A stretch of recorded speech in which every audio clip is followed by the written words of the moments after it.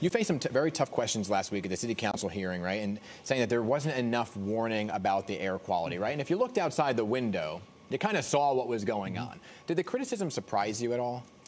The, the criticism didn't surprise me, yeah. um, but I think there's there's another question here of just really sort of an understanding of how difficult it is to forecast air quality, mm-hmm. right? And I think we also, you know, in New York City, emergency management, um, we plan for novel events. We have a all hazard planning mechanism mm-hmm. that allows us to be adaptable and flexible to respond to emergencies we've never seen before, which is what this is. But I think we have to remember air quality is much more difficult to forecast than other types of weather events, which are also honestly difficult to forecast. But this, we had a forecast uh, that showed unhealthy levels for sensitive groups, mm-hmm. and we saw it spiking on June 7th to extremely hazardous levels.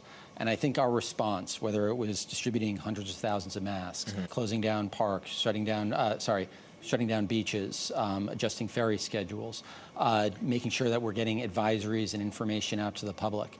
I think we had a very effective response considering the short lead time we had on this type of event. Yeah, and I heard you say sensitive groups here and, and during your testimony as well, but mm-hmm. it was in the 400 level range, which was pretty dangerous for everyone. Yes, that's correct. On on on the 7th, it, yeah. it got into hazardous levels. That was the only day we saw hazardous levels.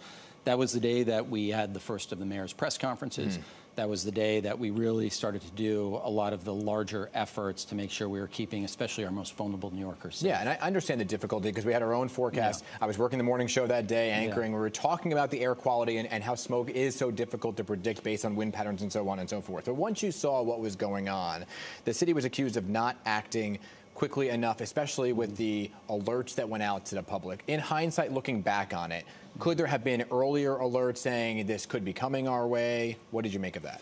So one again, the forecasting for this is very difficult yeah. to do, right? It's done by the New York State Department of Environmental Conservation. Mm-hmm. They have remarkable meteorologists who do that work there.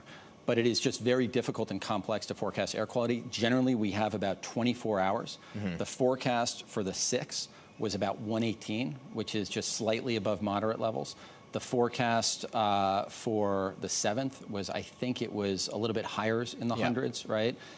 We did not expect this to go into the unhealthy category for all New Yorkers, certainly not hazardous levels. Mm-hmm. And just to put this in perspective, I think there's been two times, according to New York State, in the yeah. last 10 years, where we've seen unhealthy levels of air quality across New York. So this is a novel event.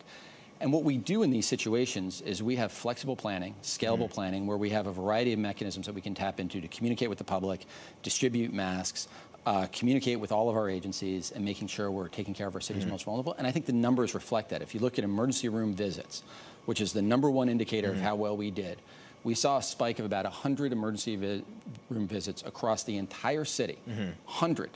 across yeah. the entire city of over 8 million for asthma related sort of issues, which is on par with what we saw in April during pollen season. Okay. So overall, when you look back on it, would you have done anything differently? So I think one of the things that really reinforced for me is we are in an age of extreme weather. Mm-hmm. We see this in the Southwest with extreme heat. We see this in Vermont and upstate New York with the massive amounts of rainfall they received in the last couple of weeks. And I think for that, there's a lot of education we need to do going yep. forward to make sure New Yorkers are ready for heat. I mean, mm-hmm. we're, we have high heat, you know, this right week, right now. We have, um, you know, incredible rainfall rates that mm-hmm. we're seeing. We have coastal storms. And air pollution has to be added to that list of things that we really need to make sure New Yorkers are familiar with.